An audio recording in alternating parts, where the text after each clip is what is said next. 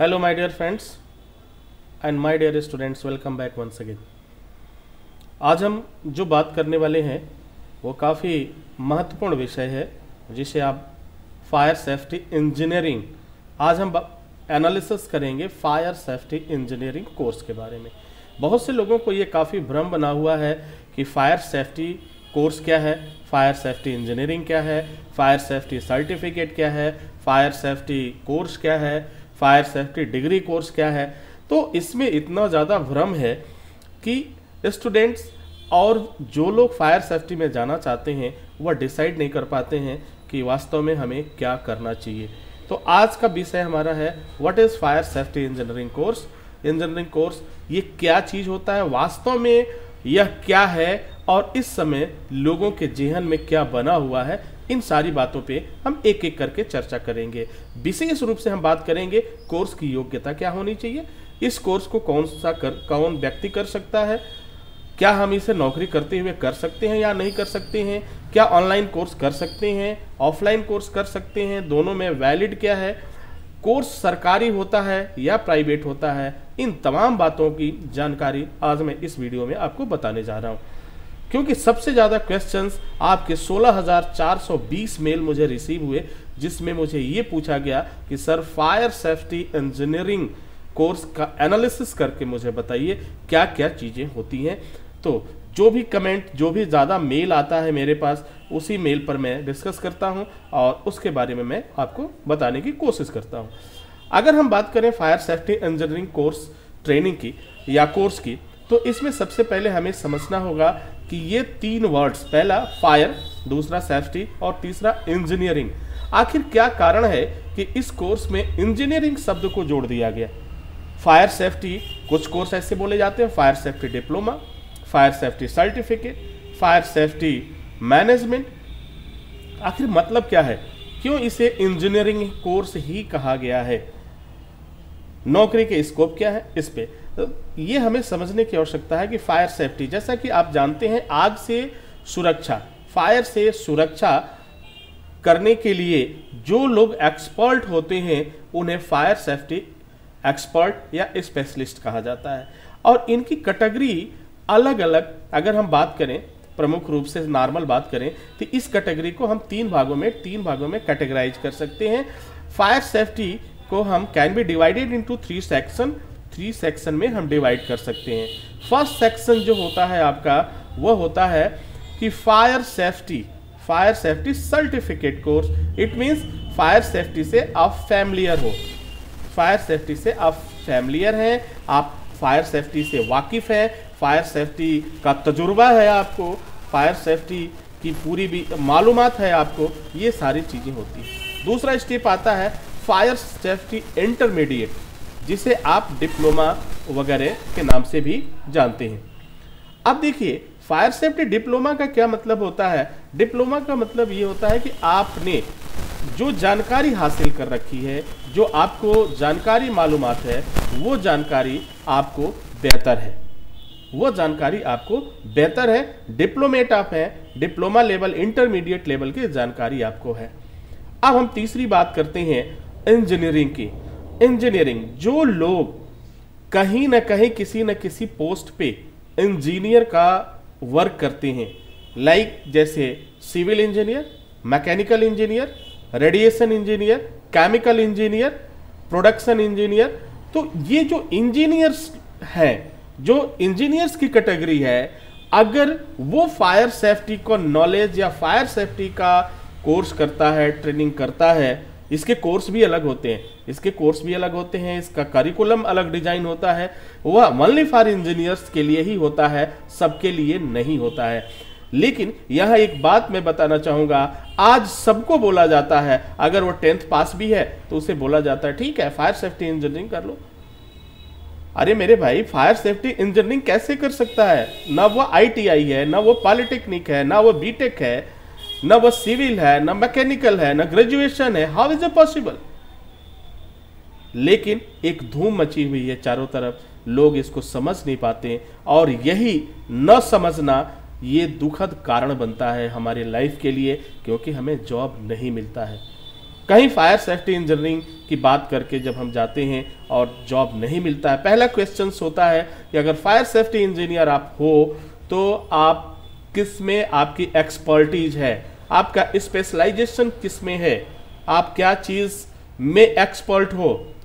Civil से हो mechanical से हो कंस्ट्रक्शन से हो तो इंजीनियरिंग लेकिन यहाँ दो चीज़ें अलग अलग देशों में कुछ चीज़ें बदल भी सकती हैं, लेकिन वास्तव में इसका जो डेफिनेशन होता है, यह इंजीनियर्स के लिए ही होता है। और जब इंजीनियर्स किसी कोर्स के बारे में जानकारी रखता है, या इसकी, इस फायर सेफ्टी फ़ील्ड में एंटर करता है, उसका जो पोस्ट होता है, वो फायर सेफ्टी इंजीनियर का होता है, न कि फायर सेफ्टी ऑफिसर का होता है।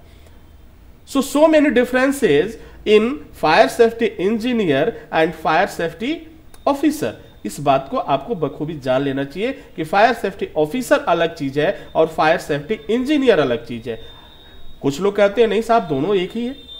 कुछ लोग तो लड़ पड़ते हैं महाराज, झगड़ पड़ते हैं। सारे लोग एकदम, नहीं नहीं नहीं, दोनों एक ही है, कैसे आप कह रहे हैं? आपको जानकारी नहीं है। चलो भाई, कौन तुमसे लड़ाई करने जाए? चलो, तुझे ही जानकारी है, तू जाने से, और तू काम कर भैया। तो सीधी सी बात, अगर दोनों एक है तो दोनों का नाम, अगर मैं ये कहूँ कि मेल और फीमेल दोनों एक ही है, दोनों तो इंसान ही है जस्ट लाइक अंडरस्टैंड के लिए, समझने के लिए मेल और फीमेल दोनों एक ही है, लेकिन मेल एक पुरुष है और एक स्त्री है फीमेल है, इंसान एक है। तो सेफ्टी दोनों की बात है। अगर आप उस बेस पे करते हो, तब तो हो सकता है। अगर हम किसी मेल को फीमेल कह दें तो फिर तो भैया माशा अल्लाह क्या करेगा? ऊपर वाला ही जानता है। ठीक है? और किसी फीमेल को मेल कह दें, ये भी बहुत बड़ी बहरा सब्जेक्ट हमारा वो नहीं है। हमारा सब्जेक्ट मकसद है इसको एनालिसिस करना और आपको बताना। अब हम जो बात करेंगे सेफ्टी ऑफिसर उम्मीद है कि आप इस बात को समझ पा रहे होंगे। Fire safety officer fire safety officer tenth pass भी हो सकता है। फायर सेफ्टी ऑफिसर डिप्लोमा किया हुआ व्यक्ति भी हो सकता है। फायर सेफ्टी ऑफिसर ग्रेजुएशन के बाद कोर्स करने वाला भी हो सकता है। लेकिन fire safety engineer only engineers ही इसके लिए ऑथोराइज है। दूसरा कोई भी नहीं है।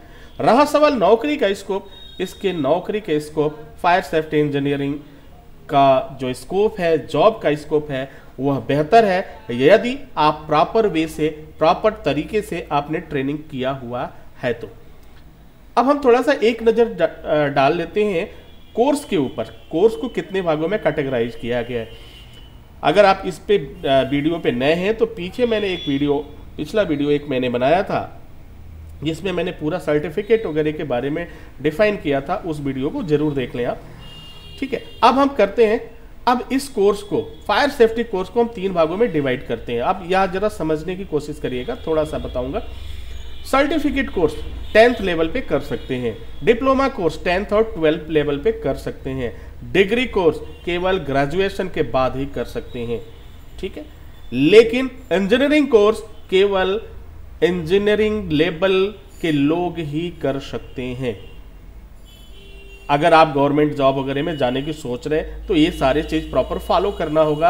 अदरवाइज़ आप जैसे भी, आप टेंथ पास भी इंजीनियरिंग कोर्स करो सर कोई दिक्कत नहीं है आपको। कोई आपको रोकने वाला नहीं है, कोई आपको टोकने वाला नहीं है। आप बेखूबी कर सकते हो, कोई दिक्कत नहीं है। टाइम वेस्ट आपका होगा, पैसा वेस्ट आपका होगा डोंट वरी कोई दिक्कत नहीं है।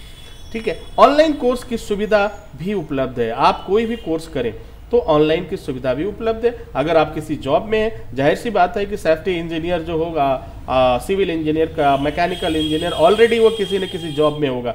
तो पॉसिबल नहीं है कि वो जाकर के कैंपस में जाकर ट्रेनिंग ले सके, लेकिन वह अपने काम में, वह उसे महारत हासिल है, वह उसका एक्सपर्ट है तो ऑनलाइन कोर्स करके अपने आप को बेहतर कर सकता है प्रमोशन पा सकता है, और अपनी सैलरी को भी इंक्रीज कर सकता है। जॉब के लिए कौन सा कोर्स सही होगा? सर्टिफिकेट, डिप्लोमा या डिग्री कोर्स? ये क्वेश्चन भी बहुत ज़्यादा पूछे गए हैं मुझसे। जॉब के लिए कौन सा कोर्स सही होगा? देखिए, सर्टिफिकेट, डिप्लोमा और डिग्री, ये तीनों लेवल के कोर्स होते हैं। ये सर्टिफिकेट में आपको थोड़ी बहुत जानकारी मिलती है, डिप्लोमा में उससे भी अच्छी जानकारी आपको मिलती है, और डिग्री कोर्स में और भी बेहतर जानकारियाँ आपको मिलती हैं। लेकिन यदि नॉर्मल कोर्स की मैं बात करूँ, जिसमें safety officer fire safety officer का आपको जॉब मिल जाए तो उस कोर्स के लिए कम से कम आपको डिप्लोमा लेवल की कोर्स ज़रूर करना चाहिए। अगर डिप्लोमा की डिग्री नहीं है तो शायद आपको जॉब मिलने में थोड़ी बहुत परेशानियाँ ज़रूर हो सकती हैं।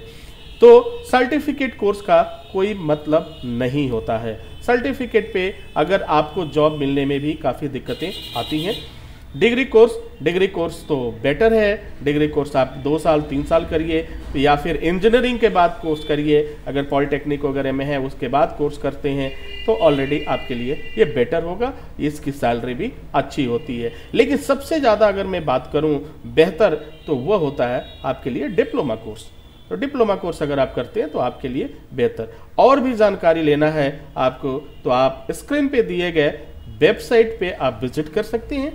या और भी जानकारियाँ प्राप्त कर सकते हैं। Fire safety engineering course Hindi, Urdu और इंग्लिश में अवेलेबल है। आप अपने इच्छा अनुसार हिंदी या उर्दू या इंग्लिश आप सेलेक्ट कर सकते हैं। आप उसका चूज़ कर सकते हैं।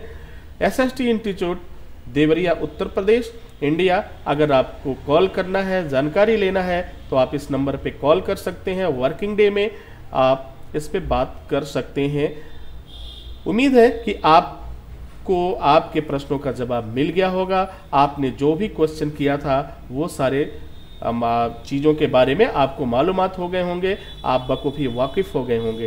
तो कहने का मतलब ये है, ये हमेशा ध्यान रखें कि fire safety officer fire safety engineering इन दोनों में डिफरेंस है। अब उम्मीद है कि आप इसके अकॉर्डिंग आप अपने कोर्स का चयन कर सकते हैं। कोई कुछ भी कहे, बहुत सी बातें भी आएँगी आपके सामने। लेकिन यह मैटर, यह मामला आपके करियर के लिए है, आपके भविष्य के लिए है, ये आपको जानना बेहद ज़रूरी है। इसी के साथ आपसे विदा लेना चाहूँगा। नेक्स्ट वीडियो में हम पुनः हाजिर होंगे। तब तक के लिए इजाज़त दीजिए। Wish you all the best thank you for watching thank you for learning